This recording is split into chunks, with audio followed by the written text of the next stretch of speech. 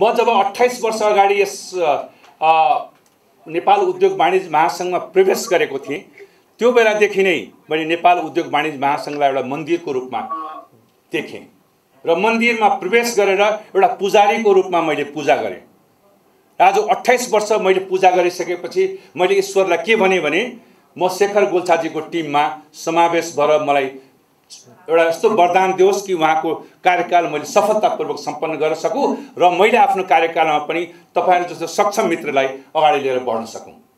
यो मेरो मैले सरकार देवतासँग एउटा अब अठाइस वर्षसँग मैले जुन मन्दिरमा बसेर पुजारीको काम गरेको छु अब मलाई यो हेर्नु छ कि भगवान् तपाईँहरू भगवान् हो।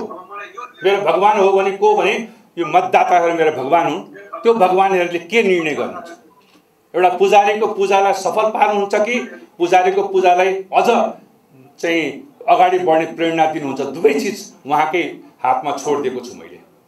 राजनीतिकबाट दूर राख्नुहोस् यसलाई।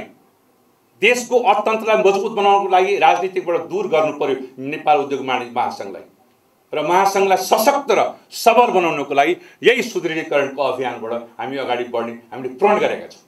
त्यही प्रणलाई साकार रूप दिनको लागि तपाईँ पत्रकारहरूको माध्यमबाट टेलिभिजनको माध्यमबाट म सम्पूर्ण नेपालभरिका चाहिँ मतदाताहरूलाई यो आग्रह गर्न चाहन्छु।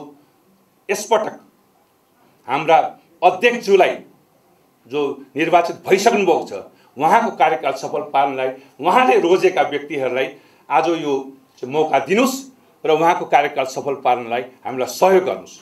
यति भन्दै म सबै फेरि मेरा मित्रहरूको चाहिँ सबैलाई जिताउने आश्वासन र दिँदै आफ्नो आफ्नो विजयको घोषणाको लागि तयारी गर्ने पनि आश्वासन दिँदै म आफ्नो यो मन्तव्यलाई यहीँ अन्त्य गर्न चाहन्छु। धन्यवाद।